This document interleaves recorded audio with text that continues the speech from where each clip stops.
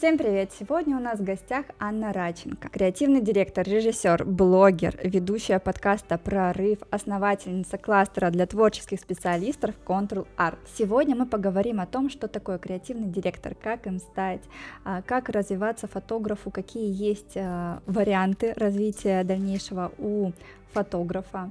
Немного поговорим про семью, про а, работу в Англии и, конечно же, о личном.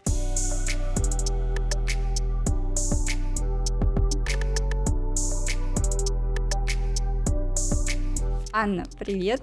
Привет, привет. Я очень долго ждала нашу встречу, очень рада, что ты к нам добралась. Ей. Из uh, далекой Англии. Махала крыльями как могла. Да. Uh, расскажи, пожалуйста, о себе, представься, что бы тебе хотелось нашим подписчикам рассказать. Меня зовут uh, Аня Радченко, я креативный директор, режиссер. Также я очень активно занимаюсь образованием и поддержкой творческих специалистов. Выражается это через блогинг, через мой подкаст «Прорыв» и через образовательную деятельность э, и организацию моя называется «Лаборатория Control Art». Мы там учим творческих людей, как строить успешную творческую карьеру. Я уже очень давно хотела пригласить к нам выпуск э, креативного директора, потому что фотография, она многогранна, и многие ошибочно думают, что фотограф — это тот человек, который может только фотографировать. Есть развитие дальше. Многие уже как-то преодолели э, всю, весь путь фотографий и думают, куда же двигаться, куда же расширяться, куда же можно еще податься, кроме фотографий, имея этот опыт. Опыт э, ведения э, съемок, вообще представление, что такое красиво. Сегодня хотела узнать, кто такой креативный директор, в чем разница между арт-директором и креативным директором? Как туда попасть и что для этого нужно сделать? И в чем вообще плюшка? Нужно ли туда идти? Слушай, ну на последний вопрос, наверное, каждый сам себе должен ответить, потому что то, что ты вначале упомянула, что куда развиваться дальше, да, как будто а, если ты просто фотограф, да, вот это даже приставка там просто, не знаю, просто фотограф, просто визажист, просто еще кто-то, как будто это недостаточно, да, как будто mm-hmm. это недостаточно круто. А мне кажется, что как-то, ну, не хватает э, какой-то, что ли, любви, признание того, что каждая профессия, она самодостаточна сама по себе, и что не обязательно, ну, стремиться куда-то дальше. Например, вот mm-hmm. есть такая частая боль в а, департаменте камеры, да, у операторов, что mm-hmm. мало профессиональных ассистентов, да, например, часто есть такое мнение, что ассистент — это просто промежуточная какая-то стадия, и что нужно дальше куда-то развиваться. Здесь, мне кажется, похожая история, то, что ты упомянула, mm-hmm. что, ну, вот сейчас я фотограф, а потом как будто бы, не знаю, creative direction а, или, не знаю, продюсирование или еще что-то такое, как будто это более высокая ступень развития творческого специалиста. Я так, конечно, не думаю. А, я думаю, что просто люди разные, и разным людям подходят, в том числе разные вещи, и профессия креативного директора, вот она состоит из двух mm-hmm. частей, да, креативный и директор, да, и очень часто, мне кажется, люди вот это слово директор, mm-hmm. они оттуда как бы убирают, и, знаешь, складывается такое мнение, что это просто человек, который генерит идеи бесконечно, такой креатив, а больше ни о чем не мне думать не надо, я просто создаю идеи.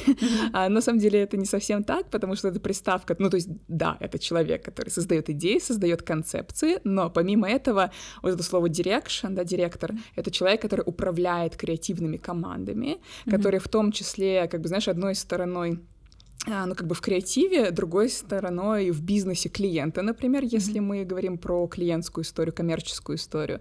То есть это человек, который понимает, зачем мы делаем вот такой креатив, который ты придумываешь, не просто рандомно, что, о, давай mm-hmm. у нас в открытом космосе будут летать жирафы, и у них будут отрываться шеи, и из них будет хлестать шампанское, не знаю, типа, окей, а зачем, как это работает на ту задачу, да, которая у нас есть. Тут еще нужно просто смотреть, про какую область мы говорим, потому что креативный директор, например, в рекламе, рекламе, да, это как бы одна профессия. Креативный директор в каком-нибудь модном доме — это немножко другое, да, в журнале там третье. Есть обучение у нас в России? Э, креативному директору? Ты знаешь, я не подскажу, к сожалению, про там обучение в России. Я mm-hmm. уверена, что, скорее всего, что-то есть. С другой стороны, мы обсуждали как раз этот вопрос с э, креативным директором агентства «Сервис План», а, и mm-hmm. она сказала, что это как раз большая боль, что действительно очень ну, как бы мало, либо вообще нет, да, хорошего mm-hmm. образования вот именно для креативщиков. А каким вот первым шагом? Вот ты, например, творческая личность, mm-hmm. неважно, фотограф, оператор, художник, и ты понимаешь, вот я слышал про креативных директоров,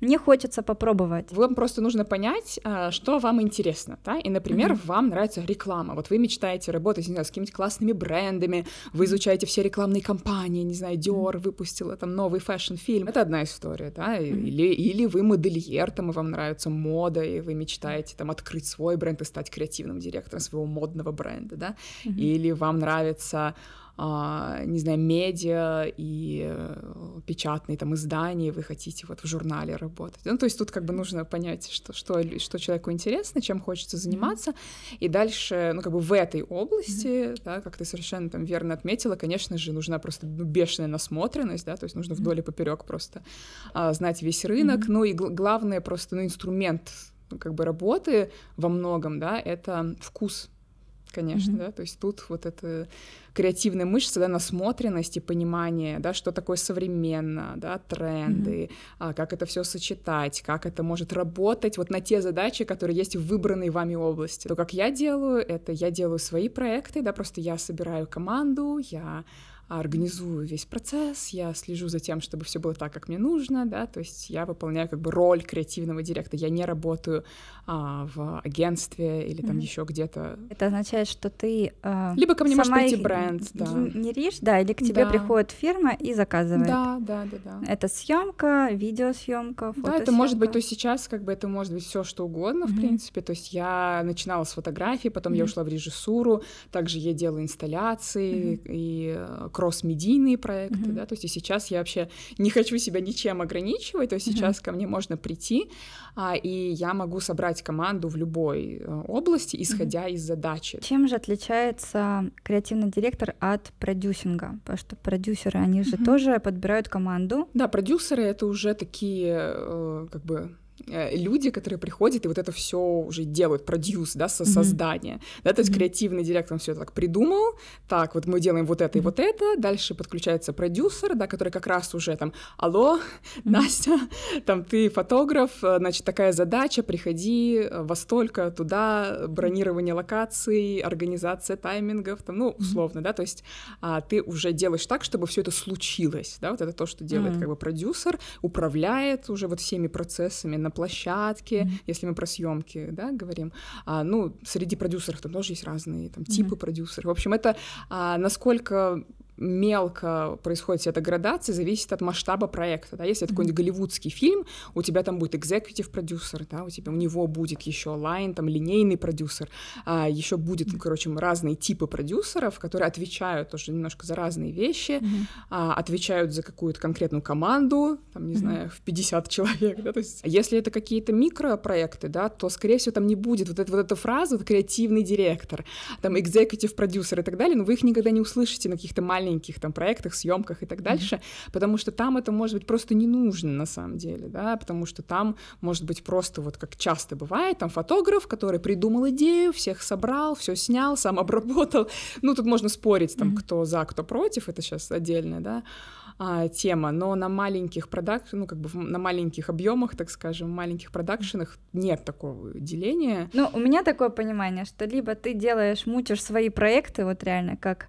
креативный директор, и это все разносится. Ну, то есть успешный проект тебя замечают, да. и кто-то берет. Либо ты уже сам начинаешь писать э, в какие-то компании, и идти помощником креативного директора. Путей, как всегда, а, много, ребят. Вы можете, mm-hmm. как бы, конечно же, там через ассистирование, ну, либо, да, через э, там свои громкие проекты, mm-hmm. через продвижение этих проектов, построение личного бренда, сотрудничество mm-hmm. с компаниями, которые mm-hmm. свою репутацию могут так на вас такую приятную тень откинуть, публикации, конкурсы, фестивали, да, вот эта вся история, конечно, продвижение. Кто к тебе обращается? Я работаю с разными брендами. Mm-hmm. Я работала с Nike, я работала с Tony Guy, с Represent, с разными-разными компаниями. Я работала в основном в качестве режиссера, mm-hmm. а в качестве креативного директора я в основном делаю свои творческие проекты, где у меня mm-hmm. нет прямого клиента. А чем отличается арт-директор от креативного директора? Потому что я часто вижу в Инстаграме,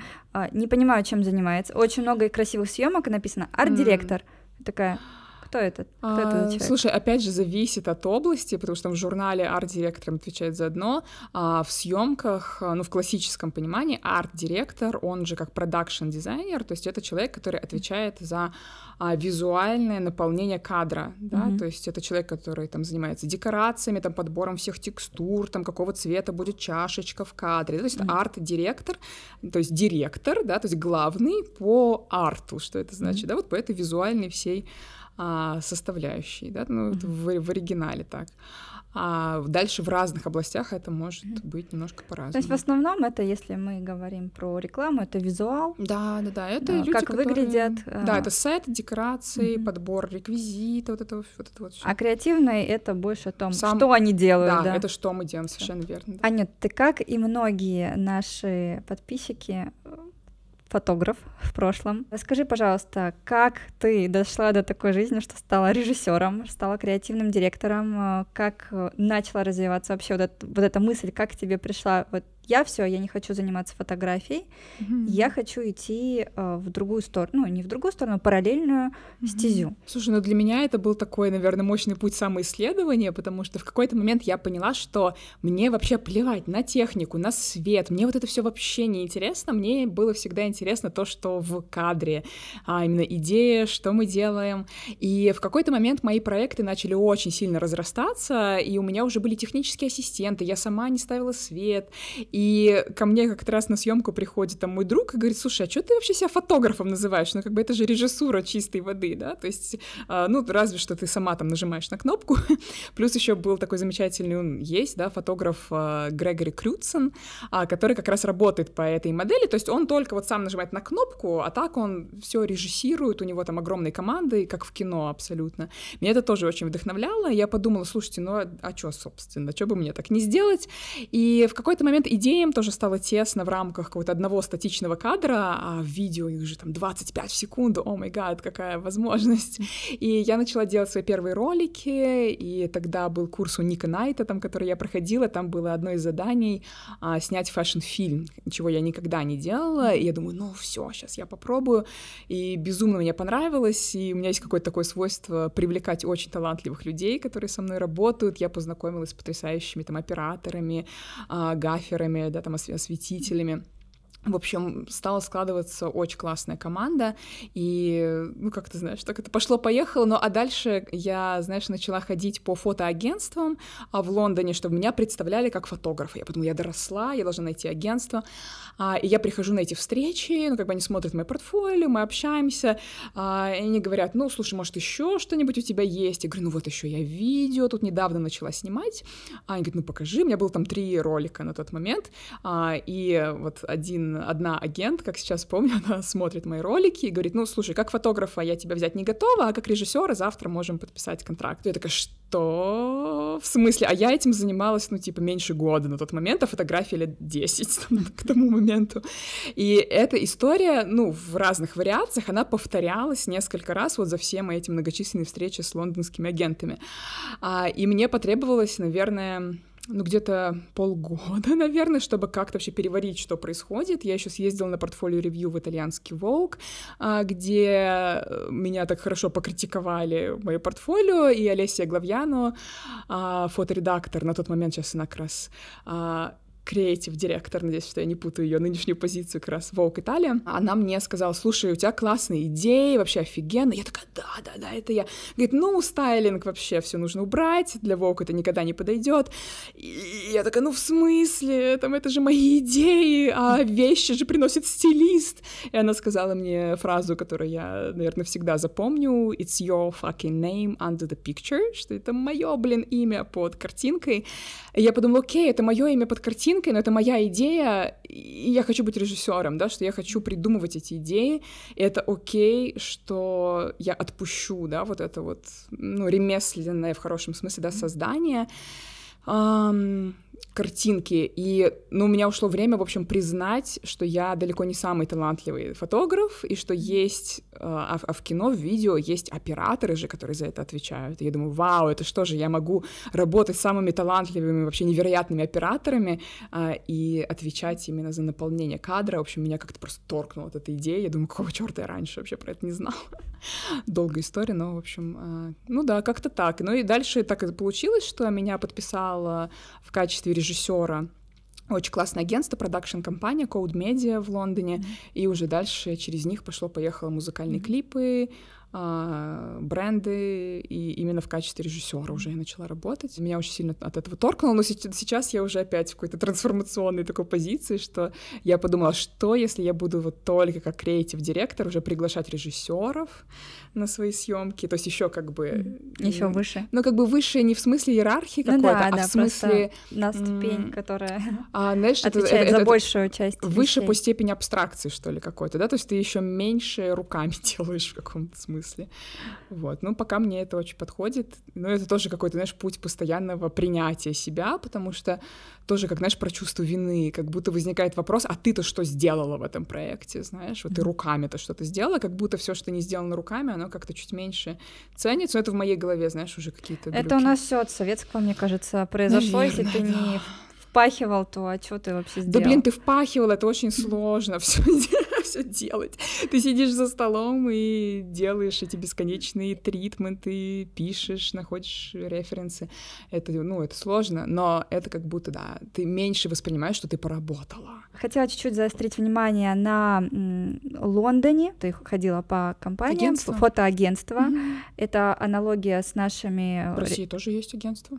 Рекламными агентствами? Нет, Или они фотоагентства? Они представляют интересы фотографов и стыкуют клиентов и фотографов и занимаются mm-hmm. переговорами, там, всеми контрактами mm-hmm. и продвижением там, фотографов среди клиентов в том числе. Mm-hmm. А есть разница между по сложности ходить в, за рубежом на, в, на английском рынке а, по подобным агентствам и у нас? Ну, у нас, к сожалению, эта область очень слабо развита, там буквально mm-hmm. по пальцам одной руки можно пересчитать эти агентства, и в России у меня не было такого опыта, то есть я mm-hmm. уже свою карьеру строила в Великобритании, поэтому я не могу сравнить именно вот э, общение, но mm-hmm. по своим знакомым знаю, что, ну, здесь просто очень-очень маленький рынок, все друг mm-hmm. друга знают буквально по именам, mm-hmm. а, и в каком-то смысле здесь, ну, может быть, проще, потому что это, ну, дистанция, наверное, меньше, потому что, ну, действительно, как бы все друг друга знают, если ты уже в этом этом, ну, в этом мире это ну, как бы несложно, скорее всего, ты знаешь этих людей, и они, скорее всего, про тебя уже знают. Но в каком-то смысле, может быть, в Англии легче, потому что, ну, огромное количество, огромный рынок, огромное количество агентств, огромное количество творческих специалистов. В этом море ты как будто, ну, как бы теряешься, как какая-то песчиночка, но в этом есть преимущество, что,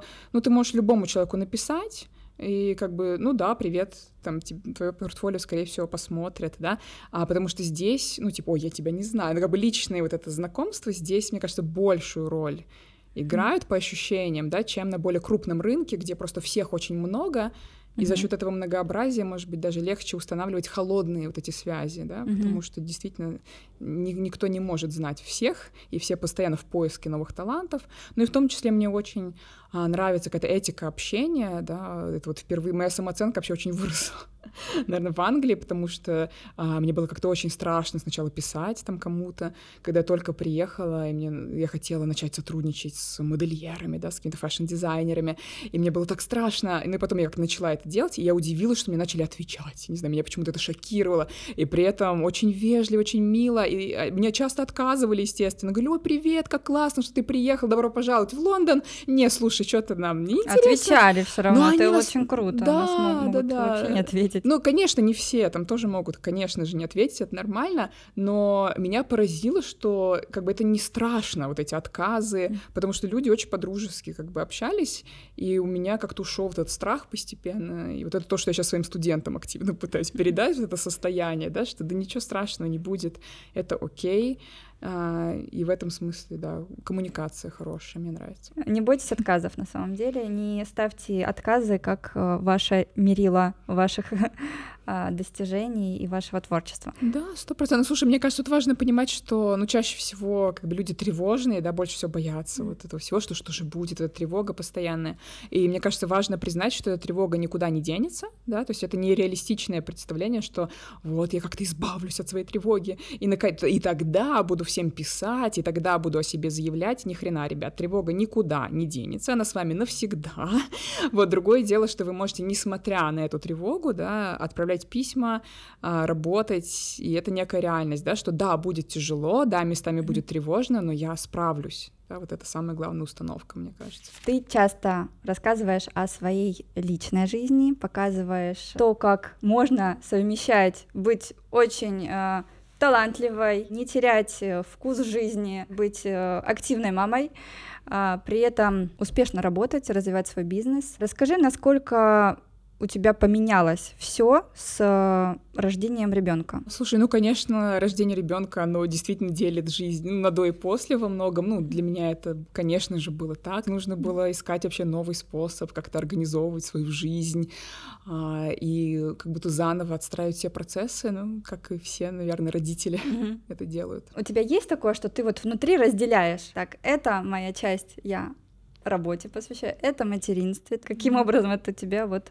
делится? Или вообще не делится, ты в этом во всем растворяешься? Конечно, делится, потому что когда я с ребенком, я ну, не могу ничего больше делать, особенно когда он такой маленький, моему сыну сейчас еще нет двух лет. То есть, конечно, последние два года, ну, когда я именно в роли мамы, я только в этой роли в основном, хотя, конечно, все эти переговоры там и звонки во время прогулок с коляской со мной это тоже все было. Но для меня, безусловно, семья и э, вот эта роль матери это далеко не на первом месте, то есть я это очень четко осознаю осознаю, и для меня первично это именно самореализация, мое дело а, и мои возможности реализации во внешнем мире, и уже только потом материнство и вот вся эта история. То есть это не значит, что я как-то мало там люблю своего сына, я его просто обожаю, но быть ее вот мамой — это не моя какая-то самоидентификация, основная роль. Тебя никто из семьи, может, муж бывший, может быть, его родители, может, еще кто-то, не осуждает, не навязывает ли чувство вины, и не возникает ли какое-то чувство вины у тебя самой. Например, когда ты...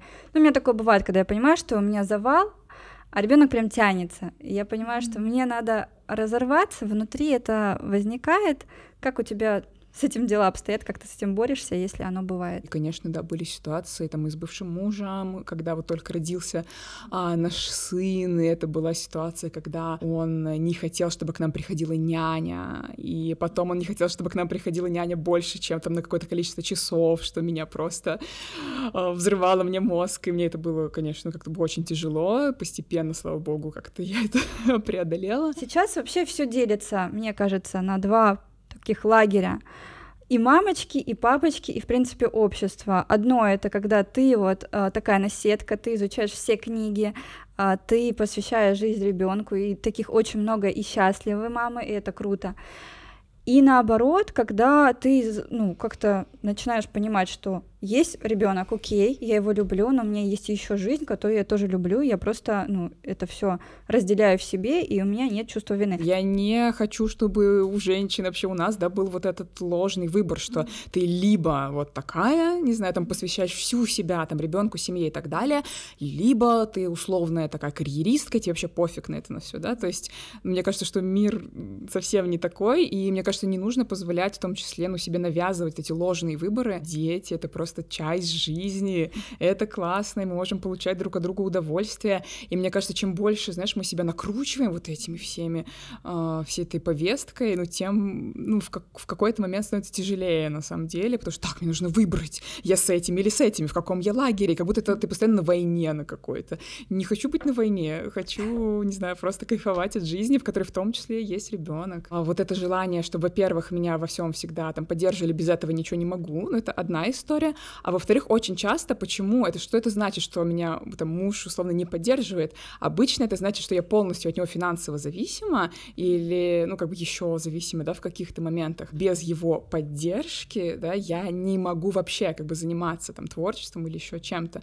И мне кажется, что вот этот клубок, ну, очень круто было бы раскручивать, знаешь, вообще издалека, mm-hmm. да, а, когда ты понимаешь, что дисклеймер, естественно, это все мое мнение, классные равноправные отношения невозможны, когда, ну, партнеры на равных, да, когда нет этой зависимости там одного от другого. То, что я вижу очень часто, вот это очень патриархальная в таком плохом смысле история, она происходит именно в ситуации, когда нет рав, ну, равенства такого между партнерами, и, к сожалению, мне кажется, очень часто, ну, в моей ситуации это было абсолютно так, когда женщины выбирают себе партнера, находясь в такой, ну, детской немножко позиции, и тогда ты выбираешь вот этого а, партнера, да, который Альфа может самца, который возьмет ответственность. Да, который берет ответственность и, и, такой... и да, это очень соблазнительно отдать другому человеку ответственность за свою жизнь, потому это что легко? ответственность это охренеть как тяжело, и тебе угу. нужно принимать решения, тебе нужно отвечать самой за свою жизнь и за жизнь своего ребенка в том числе маленького, да, и обеспечивать эту жизнь.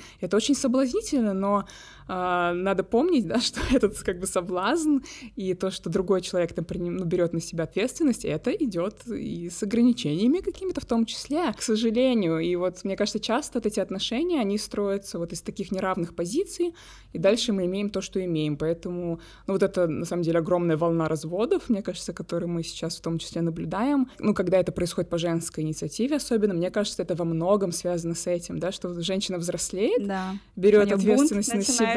Хотя, мне кажется, это больше, наверное, э, связано с э, состоянием души человека, нежели а, просто с возрастом, с психологическим... Конечно, с возрастом, я не думаю, что это сильно связано. С психологическим уровнем. В 20 лет хочется какого мужчину? Ну, чтобы ответственным был, семьянин, чтобы тебя как-то твою жизнь окутал, взял тебе, и вы создавали семью. И, в принципе, многие же и сказки, и мультики, и все остальное диснеевское очень э, сильно способствуют такой романтизации подобных отношений. Да, такая травма Диснеем и порнографии. Да, да, да. Ты ходишь к психологу? Да, да, конечно. Э, и как э, долго ходишь? Ну, у меня была одна терапевтка несколько лет. Сейчас мы завершили отношения, вот, и сейчас я в конфетный букет этом периоде с э, новым терапевтом, скорее консультантом, наверное, сейчас ну, занимаюсь ну, чем-то что в области. в тебе вот прям э, что-то изменилось за это время? Конечно, но это именно тот человек, который помог мне пройти вот это внутреннее взросление. Если бы не она, я вряд ли бы развелась. Мне это очень помогло просто вот взять ответственность, да, которая у меня была размещена вот вовне, собственно, взять ее внутрь, начать самой отвечать за свою жизнь, да, встать вот ногами так прочно на почву реальности, и дальше, исходя из этого, действовать. Ну и одним из этих действий так сложилось, да, что был развод, потому что для меня стало очевидно, что без этого я не смогу просто дальше двигаться. Сколько ты была э, замужем? Я была замужем пять лет, вместе мы были восемь. У меня там много кто сейчас разводится к 30 годам и начинают. Это кризис 30. Ребята, это так обидно, когда я слышу так, такие вещи. Во-первых, э, с возрастом, мне кажется, ближе к 30 у тебя что-то подрастает, и ты понимаешь, что какие-то вещи, которые тебе казались адекватными, в твою жизнь уже не вписываются. Во-вторых, уже немножко идет тенденция развития семьи в другом ключе. Не в патриархальном, а больше как партнерские союзы, как два, когда два человека а, равноправных, разных, а, здоровых эмоционально, понимают, зачем они его создают, а, для чего, и друг к другу очень уважительно относятся к интересам друг друга, к желаниям, к потребностям. И мне кажется, что вот эта тенденция, она очень здоровая. Она вообще идет э, от того, что люди начинают вообще думать о себе, кто они есть, что им нужно, и э, начинают работать над собой. Расскажи, насколько это было стрессово для тебя, а, могла ли ты заниматься работой, творчеством, и не, не выгорала ли ты? А, слушай, ну я, безусловно, очень много занималась творчеством в этот период, потому что для меня вот какие-то сложные эмоции, переживания — это бесконечное топливо для творчества, поэтому, несмотря на то, что, конечно же, было безумно тяжело, как ну, в любые такие периоды, я старалась это по максимуму использовать, и вот я тот человек, который там сквозь слезы записывает идеи какие-то. То есть отношения у вас э, сохранились? А, хорошим. Дружеский, Дружеский. Да. Как это получилось? Мне нужно было как-то очень-очень много ждать и как-то сохранять какое-то спокойствие, как-то адекватно общаться. Не всегда это с двух сторон сразу происходит, да, то есть я тут выбрала такую тактику. Все, что от меня зависит, я буду делать для сохранения отношений, потому что мне казалось, ну, я в этом mm-hmm. уверена, что, конечно, это важно для ребенка. Ситуации бывают разные, но желательно, да, а не видеть, что там родители как-то негативно настроены друг к другу, потому что это же как mm-hmm. две части его самого, это все равно mm-hmm. как все равно, что у тебя две части тебя как-то спорят между собой. Поэтому я со своей стороны просто, не знаю, все терпение и спокойствие мира, оно было во мне, мне кажется, многие месяцы. Да, терапия, но совместно, совместный у нас был там совсем немного именно в начале. Дальше уже каждый там занимается своим развитием там сам по себе. А, но, конечно, я думаю, что это, безусловно, один из факторов достаточно здоровых отношений сейчас. Для тебя воспитание ребенка это работа, и откуда ты берешь ресурсы. То есть это ребенок тебе дает ресурсы, ты сама их вырабатываешь или творчество. Однозначно я это не воспринимаю как работу. Наверное, для меня это было бы грустное такое восприятие. Mm-hmm. То есть для меня это, наверное, не знаю, какая-то вот совместная жизнь и ситуация, когда маленький человек, как губка такая, ну, впитывает вот все, что ты создаешь там вокруг себя, как ты себя проявляешь. И для меня это какая-то потрясающая возможность себя в том числе прокачать, потому mm-hmm. что ребенок будет делать ровно то, что делаю я, и там его папа и ну, ближайшее окружение, mm-hmm. да, а, и именно это он будет впитывать, поэтому это возможность там самой там начать нормально питаться, там не зависать mm-hmm. в телефоне, еще какие-то такие вещи, которые ты, ну, предположим, ты не хочешь, чтобы там делал твой ребенок. Для меня это такой бесконечный способ ну, как-то рефлексировать свою жизнь вместе, что-то делать. Ну, какое-то очень классное такое развитие, наверное. Да, это работа над собой.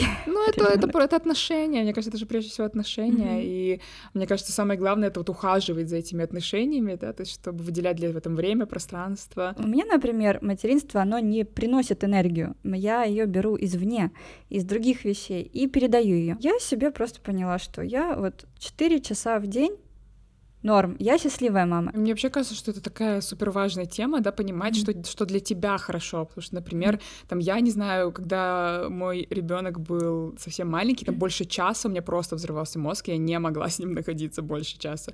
А, и знаешь, вот это тоже история, а, что все, что я чувствую, это нормально. То есть никто mm-hmm. не может мне сказать, что, блин, вот ты какая-то не такая, знаешь, там, что нужно каким-то определенным образом проводить время с ребенком, что там нужно ходить с ним на детскую площадку, если тебя бесит детские площадки. Mm-hmm. Очень важно тоже себе сказать, что я могу делать то, что я хочу. Просто ребенка там, mm-hmm. ну, насколько это возможно, да, конечно, там брать с собой, интегрировать ребенка, ну, в свою жизнь, и что mm-hmm. для него, ну, до определенного возраста, мне кажется, это есть как бы самое клевое. Я прям очень много работала с чувством вины, не, не моей.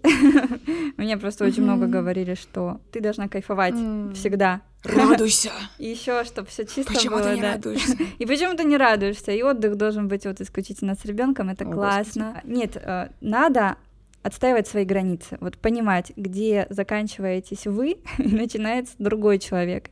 И он ни в коем случае не должен навязывать а, свои беспокойства, там бабушки могут говорить, вот у нас так было, это просто чувство вины, что они не додали, не доделали в своем возрасте, а, и начинают на вас это все перекладывать. Тут надо работать с психологом, но если нет возможности, то есть много практик, а, которые вот просто отсекают чувство вины и э, ставят такие границы вокруг себя, которым уже другие личности не мешают развиваться и наслаждаться жизнью. А расскажи о своем образовательном проекте и как из Англии получается mm-hmm. вести бизнес в России. Mm-hmm. А, чему вы обучаете, что можно у вас узнать, зачем к вам можно приходить? Моя компания называется лаборатория Control Art, и мы учим там творческих людей, вот что им делать дальше, когда они уже научились фотографировать, рисовать, а, делать керамические вазы, не знаю, все что угодно, да, то есть что с этим делать дальше, как себя упаковать, да, то есть как сделать так, чтобы у меня было все необходимое, чтобы выйти во внешний мир. Я это люблю сравнивать, знаешь, с там ролевыми играми, что у тебя есть персонаж, сначала тебе нужно там накачать ему мышцы, да, то есть для креативщиков это что? Как создавать идеи, как создавать проекты. Дальше это все упаковать, то есть это обмундирование, да, это, э, доспехи, создать портфолио, там свой сайт, как вести Инстаграм, да, то есть вот что у тебя уже какая-то оболочка внешняя появляется, научиться писать там письма потенциальным клиентам, журналистам, там кому угодно, научиться о себе вообще рассказывать. И дальше уже полноценный такой выход во внешний мир, да, то есть как зарабатывать вообще первые деньги, как связывать связываться с клиентами, кто вообще твоя аудитория. А, и также мы там учим, в том числе авторскому праву, как работать mm-hmm. с журналами, как выставляться, как организуются выставки. Это уже наш более продвинутый курс у нас там разбито так немножко на уровне, чтобы не сразу людей кидать а, в самые сложные вещи. То есть мы вот учим все, что делать дальше. Мы не учим ремесленным вещам, там, как снимать, как ставить свет, или что-то такое, а именно что с этим делать дальше, и в том числе моя такая миссия — это вот вывод русскоязычных творческих специалистов на международную арену, потому что мне кажется, это круто, когда нас узнают по всему миру, и как раз то, что я нахожусь в Лондоне, оно в этом смысле очень помогает, потому что я знаю, как индустрия устроена в мире, и мы можем давать нашим студентам эти знания, да, не только как работать на постсоветском пространстве, а что принято вообще в мировой индустрии, mm-hmm. как взаимодействовать с международными клиентами, что оказывается ты там сидя в какой какой-нибудь деревне там в России можешь, и это нужно делать, да, публиковаться в международных изданиях, участвовать в международных фестивалях mm-hmm. и вот не замыкаться в этих географических рамках. Вот для меня это очень важно. Мы сегодня немножко разобрались на тему, что такое креативный директор. А, я очень жду от вас э, комментариев. Понравился ли выпуск? Хотите ли вы после него стать креативным директором?